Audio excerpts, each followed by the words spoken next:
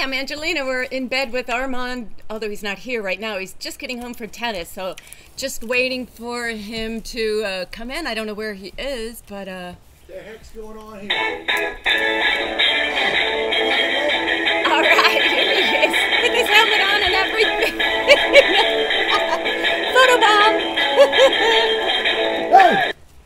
Anyway, oh shoot, man. all right, well, come on in, Armand. It feels I'm getting good. in that water. Oh my gosh, it feels Getting so in good. that water, man.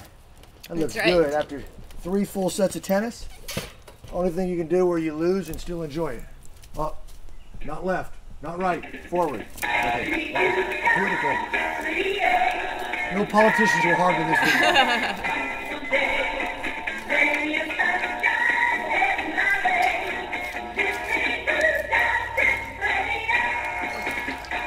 All right, this is gonna be an interesting, uh, interesting show on the raft. Oh my goodness.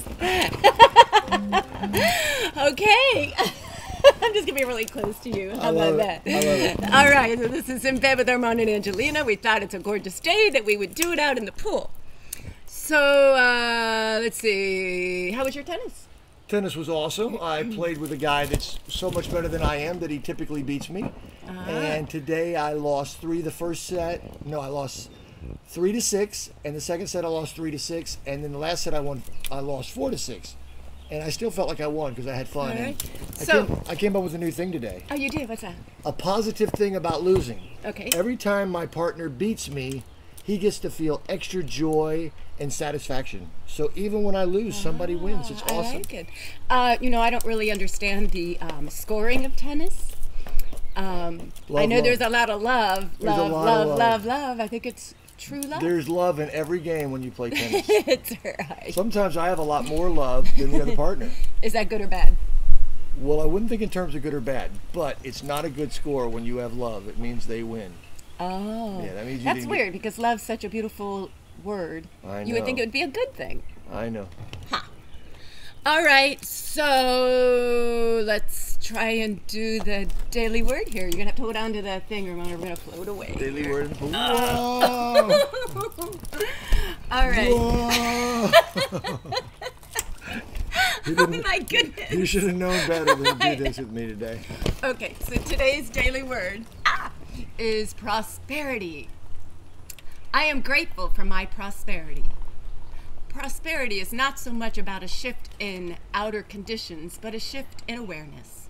When I fully engage with life's abundance, appreciating the good that is already present, I am energized. As I am attracted to new life and new energy, I am primed to notice and act when even more good comes into ma- manifestation. By giving thanks for all that has already been provided, I move into the stream of divine ideas and open myself to experience that flow. New thoughts of possibility and plenty replace old thoughts of worry and doubt. I place all of my attention on my connection with God within and give thanks for all the good that I am now experiencing. My gratitude grows as my prosperity and plenty come forth with ease. And now she's going to read the scripture, which a couple of people have asked Which is- that she reads the scripture, uh, which she wasn't doing for a while. Proverbs 16:20. Yes. Those who are attentive to a matter will prosper, and happy are those who trust in God. Sweet. Yay! I got to cool off, man. I'm hot. You you start talking. All right, I'll start talking. Let's Talk. It is warm. I thought the water might be a little chilly today because it was uh, cool last night, but it's wonderful. All right. So, um, Armand, you. Oh, we lost Armand. He's underwater. okay, so we're gonna do. Uh, it's not really getting morning, but we're gonna do uh, Alexa. Good morning. Good morning. My favorite song, Aretha Franklin's Respect, was first released on this day in 1967. Unbelievable vocals and an empowering message. That's what it means to me. Very good. I like it. I like it too. All right. So we first were going. I think we should talk about yesterday's taping, right, Armand? Ooh, yesterday was crazy. It was crazy. We decided to use our cell phone and didn't really know what how different it would be. So uh, it was just a little stressful. Even trying to still be in the flow of life, it was a little difficult at times, right, Armand? Yes. So one funny thing though is didn't realize that when you're taping on the cell phone with a selfie mode, that all my quotes were backwards. so you know we're always learning, learning new things, and so if we ever do that again, uh, we won't we won't do that, right? Right. And then what took so long, we usually like to try to get these out fairly early, but we did not know how to upload it into YouTube. How many hours did it take, Armand? Four hours. Normally takes about 15 minutes. Right. So it's a little crazy, uh, but we got through it. We learned a lot, and we're here to tell the story. Yay. Yay. Okay, so today we thought we would tell you all something about ourselves that that uh, maybe you don't know about. Not many people would know about this. I wanted to do something that would be that Armand wouldn't know about it. It's a story he's never heard about my childhood and him telling me a story that I never heard. But you know, uh, I, he knows everything. I could not come up with anything that I, I haven't told him already. I'm sure there's some things I don't know yet. It, it's been uh, 19 and a half years, but Do you know what that would be? No, I don't know what it would be. you goofball. I, I don't know yet, but I bet you every year you tell me something new I didn't know. All right. Here's the weirdest thing about our rela- relationship. In Yeah. the first three years, Yeah. we used to agree, I swear to God, on everything. She just went my way. It was always so easy. And now, we rarely agree on anything. That is not true. See? You might need some wine to go with that cheese right now. crackers. Right. Okay, so I'll go first. Uh, what I'm going to tell you is I was a competitive swimmer from age 8 to 18. Hey, Mr. Kitty. And uh, yeah, I love to swim. And how that all started was I was like seven or eight years old, must have been eight, and uh, I was taking swimming lessons.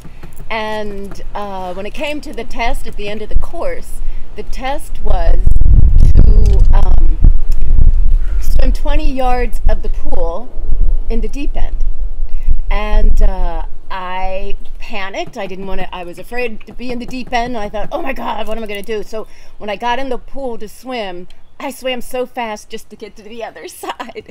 And so when I got out, the swim coach and the teacher said, "Oh my gosh, you're a fast little swimmer. You should be on the swim team."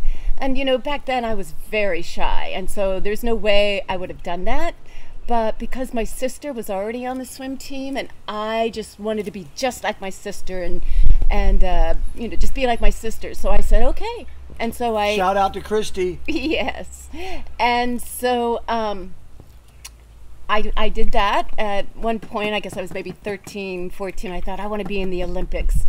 Uh, that never happened uh, things just you know life as i got a little older there were more activities You doing get a gold school. medal in my in my Olympics.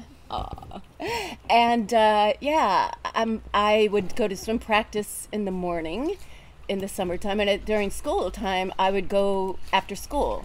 And I'm just going to thank my dad for always taking me to swim practice every day. On Saturdays, there were swim meets, and he took me to my swim meets. Those were all day thing. And gosh, I, you know, thank you, Dad, because you just always supported us kids and in everything we did.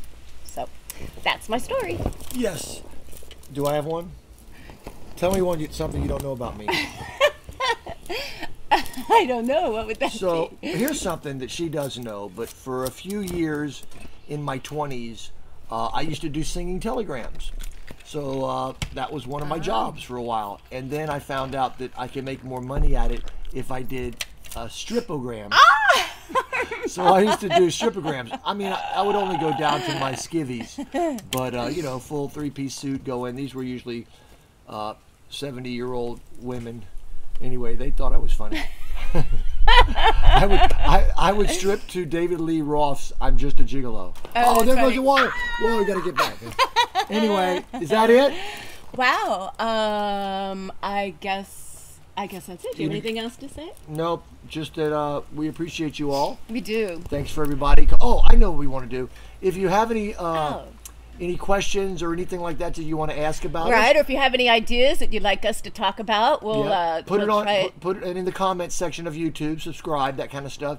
Uh, you can even do it on Facebook. Right. And uh, and we'll try to answer some questions because uh, we want this to, be more fun and personal. That's right.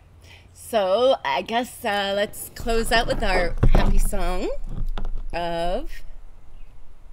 Uh oh. Technical difficulties here. Oh, my phone's oh, over- gosh. my phone's I don't know over what I'm the water. doing. My phone's okay, we're gonna water. not do it with music. Zippity doo da, zippity yay. Bye, oh my, Have a great what day. a wonderful day. Plenty of sunshine going my way.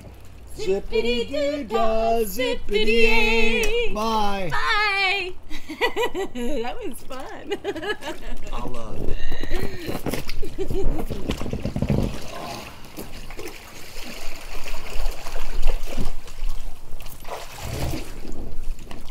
Oh, still here. Bye.